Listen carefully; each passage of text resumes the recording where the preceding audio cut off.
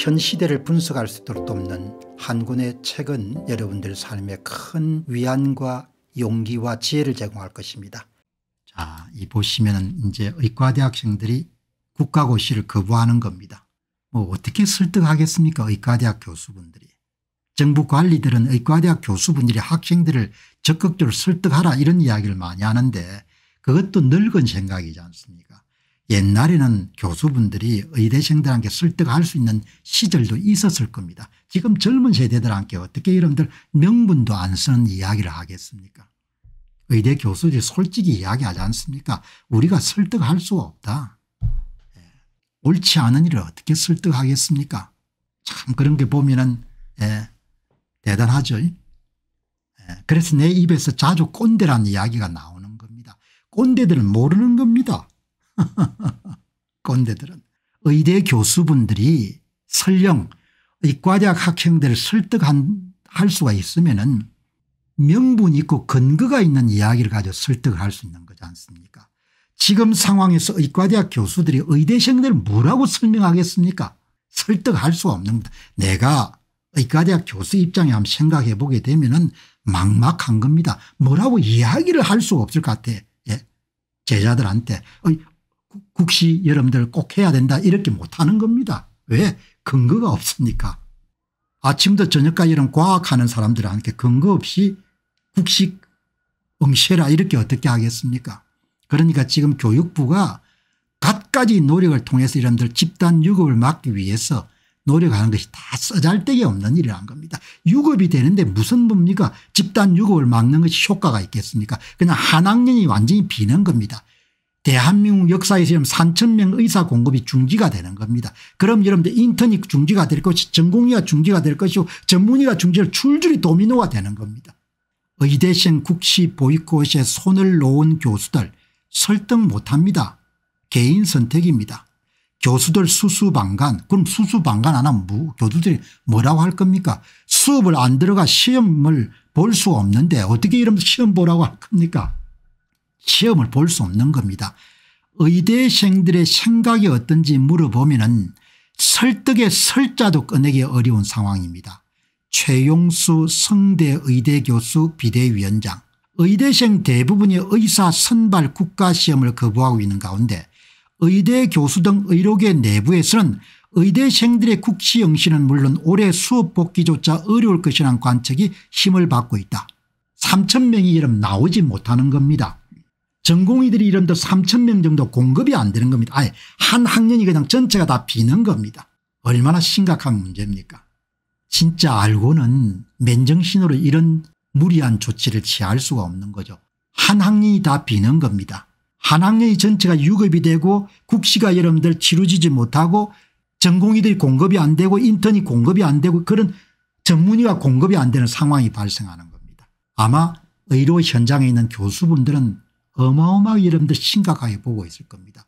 그러나 모르면 아무 문제도 아닌 겁니다. 보건복지부 관리들은 자기 문제가 아니니까 그게 심각하게 생각 안 할 겁니다. 그러니까 이렇게 여러분들 뭡니까 납득할 수 없는 짓들을 지금 하고 있는 겁니다. 그리고 빡빡 우기, 우기는 겁니다. 음? 아마 보건복지부 실장이나 박민수 차관은 또 그렇게 할 겁니다. 의과대학 교수들 분께서 예? 책임감을 깊게 통, 여러분들 인정하셔서 의대생들을 적극적으로 여러분 설득해서 집단유급도 금지해 주시고 국가고시도 여러분들 치르도록 협조 요망합니다. 뭐 이렇게 할 겁니다.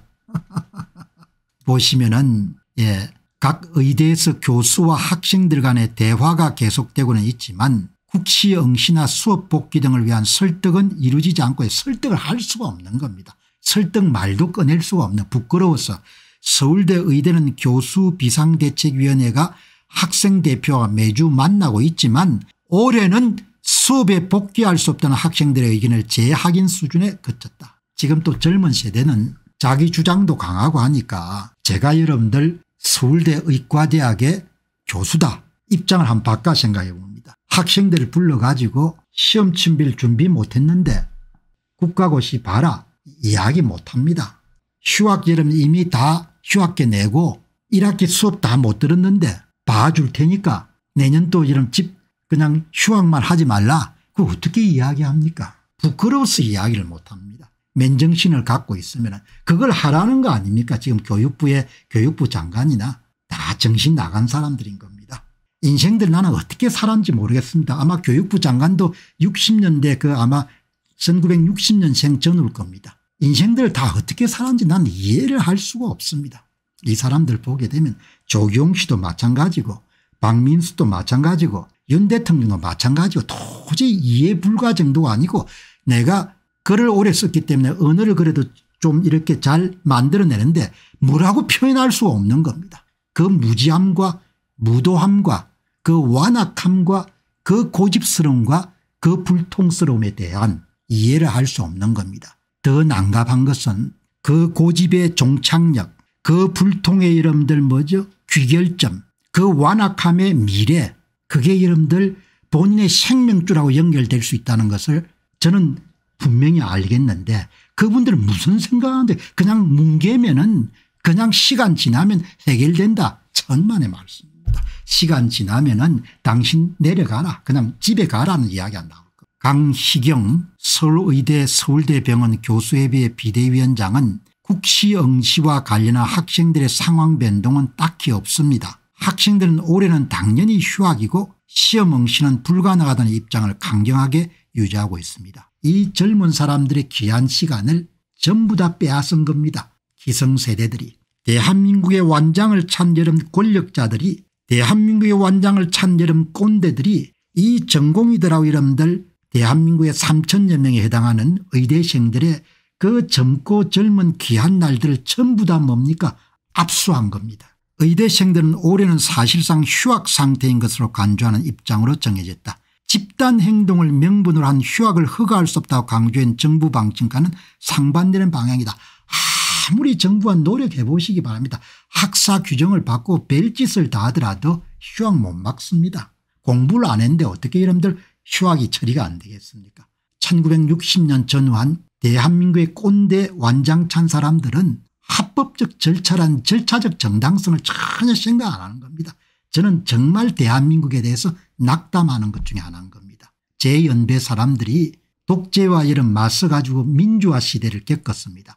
어쩌면 절차적 정당성 합법적인 것 이런 부분에서 이토록 뭡니까 예? 무도하고 완고하고 완악하고 이런지를 나는 본 겁니다. 이번만 본 게 아니고 선거를 공정성을 여러분들 규명하기 위한 과정에서 본 겁니다. 대한민국은 그냥 후기 조선이 딱 적합합니다. 다들 여러분들 넥타이 메고 양복 입고 다니지만 정신구조는 거의 후기 조선 사람들인 겁니다. 절차적 정당성 합법성 이런 게 전혀 없는 겁니다. 그냥 까라면 까. 안 까. 명령. 진로 유지 명령.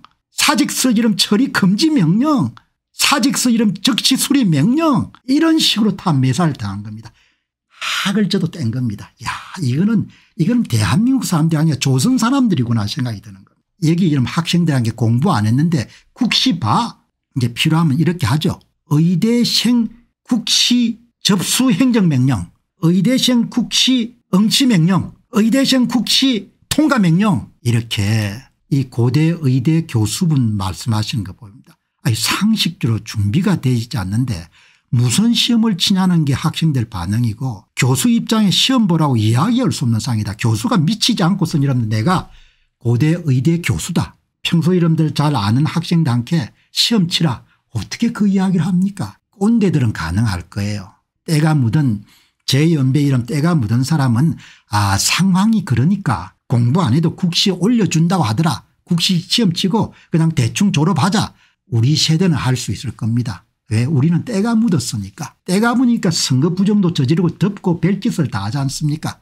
예? 죄 없는 이름 죄를 때려 35년 매기고.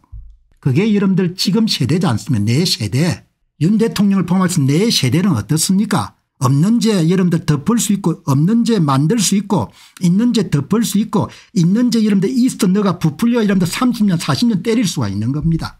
그러나 젊은 사람들은 우리처럼 그렇게 때가 묻지 않았기 때문에 공부 안 했는데 시험 친다 공부 안 했는데 다음 학년으로 여러분들 진급한다 너무나 부패한 나라인 겁니다. 기성세대가 너무나 부끄러운 겁니다. 1960년대 출신들 운동권에 많이 포함된 사람들이 너무나 나라를 혼탁하게 만든 겁니다. 이 죄를 앞으로 어떻게 갚을지 모르겠어요. 여기 보시기 바랍니다. 상식대로 준비가 돼 있지 않은데 무슨 시험을 치라고 학생들한테 이야기하겠냐. 원서 접수 일정이 26일까지니까 3천 명 규모로 배출되는 신규 의사 공급이 끊어지는 겁니다. 이 집단 유급 사태를 막기 위해서 의대 학사 탄력 운영 가이드라인 이런 걸 하는데 공부를 하는데 어떻게 시험을 치겠습니까 여기 보시면은 어제도 소개드렸던 김홍식 원장님 배산 메디칼 내과의 원장이시고 30년간 내과 개업이로 여러분들 필력이 아주 뛰어나시네요. 김홍식 원장님이 의대생 국시 여러분들 거부 국시를 치룰 수 없는 게뭘 뜻하는지를 이 글을 적은 겁니다. 국시 거부와 전공의 미복귀는 비극의 서막일 뿐입니다. 제가 글을 쓰게 되면 의대생 국시 거부와 전공의 미복귀는 의료 파국의 서막일 뿐입니다. 파국이라는 용어를 쓸 것 같아요. 김웅식 원장께서는 비극이라고 표현하셨는데 의과대학 정원 정가로 정원되어 들어올 신입생과 미복귀 의대생의 교육 문제 미복귀 전공이라는 종합병원의 부도 문제 지방의과대학을 중심한 의대 교수들의 이탈 문제 필수 의료과에 종사하고 있는 전문의들의 번아웃 탈진이 줄줄이 다가오고 있습니다. 모든 악재는 윤 대통령께서 자초한 것입니다. 여러분 여기서 짧은 문장이지만 지금 급속히 진행되고 있는 의료 파국 여러분들 현상들을 종합병원 부동 문제 의대 교수들의 이탈 문제 필수 의료과 전문의들의 탈진 문제 이게 여러분들 전부가 다 응급실 폐쇄 문제 의사들에게 발언하고 제안할 수 있는 창구는 그동안 없었습니다. 사전햄이라 통보도 없이 2월 6일 갑자기 의과대학 정원 2천명 증가를 발표하고 무조건 정원은 증가된 정원은 건드릴 수 없다고 못 박아서 윤 대통령에선 비극을 자초했습니다. 어리석게도 의사들을 우습게 본 것입니다. 너무 본인 자신이 쉽게 대통령이 되었다 보니 세상 모든 것이 자기 마음대로 될 줄 알았을 것입니다. 이렇게 나오지 않습니까 30년 동안 피의자를 다뤘으니까 피의자는 뭡니까 밀폐된 공간에 자기 지시를 다 따를 수밖에 없지 않습니까 그런 종류의 의식구조가 지금 비용을 치르는 거죠. 세상은 복잡하고 통제할 수 없는 영역이 엄청나게 크다는 것을 윤 대통령 몰랐던 겁니다. 윤 대통령 입장에 제가 서보게 되면 은 이걸 알았으면 절대 이게 뭡니까 수렁에 빠지지 않는 겁니다. 이렇게 된 겁니다. 세상 우습게 본 겁니다. 모든 게 통제 가능하다고 본 겁니다. 그냥 정권이만 때려잡으면 은 3주에 4주 정도 진압작전이 성공할 걸 본 겁니다. 그 3주 4주가 지나고 나서 6개월째 접어든 겁니다. 파국으로 가는 겁니다. 의료 파탄은 여 다른 정부와 비교할 수 없을 정도로 중요합니다. 어마어마하게 중요합니다. 관련되지 않은 국민들이 없기 때문에 누구나 환자가 될 수 있고 누구나 아플 수가 있고 본인이 아니면 가족 중에 누가 될 수 있고 친인척이 누가 될 수 있는 겁니다. 이렇게 엄청나게 중요한 탈원전과 비교할 수 없을 정도로 중요한 문제인 겁니다. 돈보다 건강이 중요하는 말이 이것을 입증합니다. 사회는 의사들에게 너무한다고 하겠지만 최소한 의사들이 발언하고 제안할 수 있는 기회는 주었어야 됐습니다. 어마어마했던 거죠. 이 대한민국의 꼰대 세대들 완장찬처럼 권력을 진 사람들의 정신구조는 실로 저도 이런 경악을 했습니다. 우리 모두는 국민입니다. 모든 국민은 법의 보호를 받을 수 있는 자격이 있고 모든 국민들은 국가로부터 이런들 보호받을 수 있는 그런 존재들인 겁니다. 제가 이번 대한민국의 의료 사태에서 분격한 것은 특정 직, 직, 직역을 택해 가지고 특정 직업에 종사하는 여러분들 그 집단을 상대로 해가지고 국가가 발휘할 수 있는 모든 강제력을 남발한 걸 보면서 이게 어떻게 나라가 이게 어떻게 나라가 자유국가가 맞는가라는 그런 의문을 던지지 않을 수가 없는 설령 의사가 이런 죽을 죄를 졌다고 하더라도 우리가 그렇게 다룰 수 없는 겁니다. 하물며 죽은 죄를 절대 짓지 않고 뭡니까 온 몸과 마음을 다해서 여러분들 노력해온 낮은 수가에도 불구하고 여러분들 장시간 노동을 노력해온 사람들을 그렇게 전부를 속죄로 삼아가 여러분들 한 국가 공권력을 이용해 가지고 동원할 수 있는 모든 강제를 동원해서 특정 지역을 여러분들 공격하고 국민들을 선동하고 이런 동원을 해가지고 욕지거를 부들리고 여러분들 돌판미를 던지고 어떻게 그렇게 할 수 있냐 이야기. 그래서 제 입에서 이거는 조선 사람들이지 이건 대한민국 사람이 아니라는 겁니다. 나는 조선 사람을 이번에 본 겁니다. 한반도 반쪽 남쪽에 사는 조선 사람을 봤지 나는 그 사람들이 절대 대한민국 사람이라고 생각하지 않는 겁니다. 대한민국 사람은 그렇게 할 수가 없는 겁니다. 문제는 그 조선 사람들에게 대통령을 포함해서 고위 관직들이 대거 포함이 된 겁니다. 그것이 실로 너무나 어처구니가 없는 짓이었습니다. 윤 대통령의 고집과 아둔함에 이 사회는 의사들 욕만 할 줄 알았지 사건을 일으킨 정부에는 침묵으로 일관했습니다. 그 책임을 국민들은 정부와 함께 져야 될 것입니다. 정말 두려운 것은 의사들의 직역과 전문가 선택이 앞으로 크게 달라질 거라는 점입니다. 필수 의료는 더욱 시가 마르고 정부 간섭이 적은 분야로 더 몰려갈 것입니다. 반푼수가 집안 망친다고 의료에 대해 무지한 대통령이 엉터리 OECD 통계를 덜먹이고 고집을 피우며 의료인 물꼬는 이미 방향을 바꾸고 있습니다. 봉사 희생이란 말로 의사들의 해유하긴 이제 걸러버렸습니다. 앞으로 우리나라 의료는 의사들에게 지불한 대가만큼만 서비스를 받을 수 있을 것으로 봅니다.